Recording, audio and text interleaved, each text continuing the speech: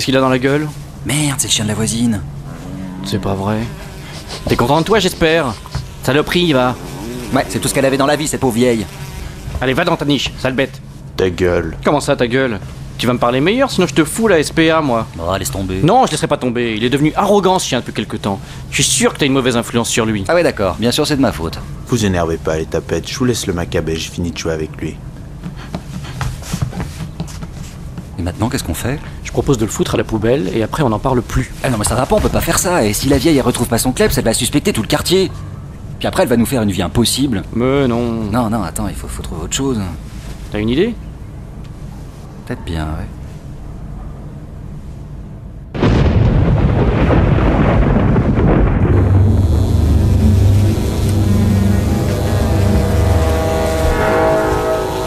Ok, on va y aller. Alors, j'ai du savon de Marseille, du fil, une aiguille. Bon, bah, je crois que j'ai tout. hein. Ça marchera jamais. Mais si ça va marcher, un bon petit bain, trois points de suture, on dépose soigneusement le chien dans le jardin de la vieille et elle y verra que du feu. Elle croira à une mort naturelle. C'est ça. Je crois que tu rêves. Bon, écoute, tais-toi et laisse faire l'artiste.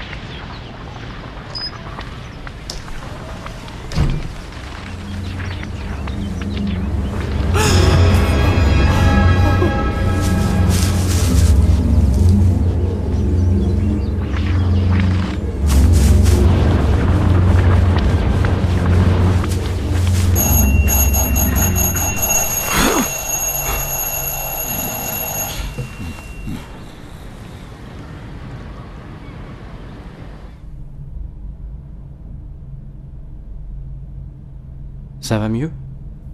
Oui, je vous remercie. Excusez-moi de vous avoir dérangé. Je ne savais pas vers qui me retourner. Ne vous excusez pas, c'est tout naturel. Ça m'a fait un tel choc de voir mon chien sur la blouse. Ah ça, on est bien peu de choses. Dieu a choisi de rappeler votre petit chien à ses côtés. Oui, enfin, s'il n'y avait pas eu ce camion, il serait encore ici. Comment ça? Là oui, je vous l'avais pas dit Un camion a renversé mon petit chien il y a trois jours.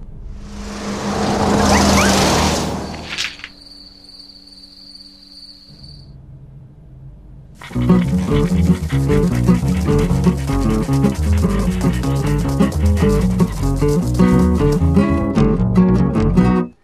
le métro, une vieille odeur, je suis encore de bonne humeur, les portes se ferment sur mon journal.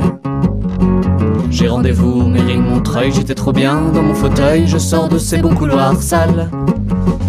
Une bouche me crache sur le trottoir, je rejoins un mouton bizarre assis sur une bouche d'incendie. Il prétend attendre un ami, les moutons, moi je les compte le soir. On dit que le quartier est blafard, moi je le trouve merveilleusement gris.